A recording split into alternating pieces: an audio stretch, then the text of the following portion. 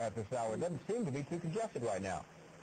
No, it's kind of a, amazing, Chuck, um, uh, Lance, that it's not uh, as congested as it is now. Shields Boulevard is kind of congested, but going, looking up, uh, looking up to the west, it, it appears to. I mean, it's heavy traffic, but it's all moving very good. It's uh, you know no congestion, no stop and go at this time. We're going to be coming up to Walker. We're, uh, we are westbound on I-240 coming up to Walker. I'm going to switch over to the Oklahoma City approach and let you have it for a minute, Lance and Meg. Okay, thank you, Jim. Again, people just joining us, let's catch you up on this. We are told this started in Del City at uh, Southeast 15th and Bryant. This is a stolen car, we're being told. This chase has now been going on for, I believe, Close to 35 minutes 35 now. to 40 minutes. That's We right. there are several law enforcement agencies involved in this pursuit, including the Oklahoma Highway Patrol. It was, started but the uh, Del City Police. It looks right now like the OHP officer is trying to bump the back of that car. It's like they, they spun him out. We spun out. Now heading backwards. Where was it? Oh, my goodness. That's unbelievable. That is unbelievable. This person has the lives of a cat. This is. He's going to try We're it going to again. again. They're going to try it again.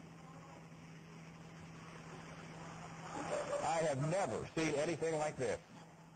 I feel like we're watching kind of a bad movie. And he's going to try it on the other Uh, side. we are still going westbound. They're trying to spin him out here on I-240. All right. Done it three times. Three times is not a They charm. have him here. It Okay, looks like he may be coming to a stop here. there we go. It worked. Third time worked. Now he's going in reverse. Uh, He's, he's, They're trying to corral him, but boy, he is not giving up. No, this He is is determined to get away, isn't he? 3.6 right now. He's over the curb. He's in the grass. He's hit something that has stopped him. Stop. OHP troopers out, guns drawn, surrounding the car. And Oak City approach 4 Tango. He is still fighting, though. Look at this. He is still fighting all the way to the ground. His shoes are off.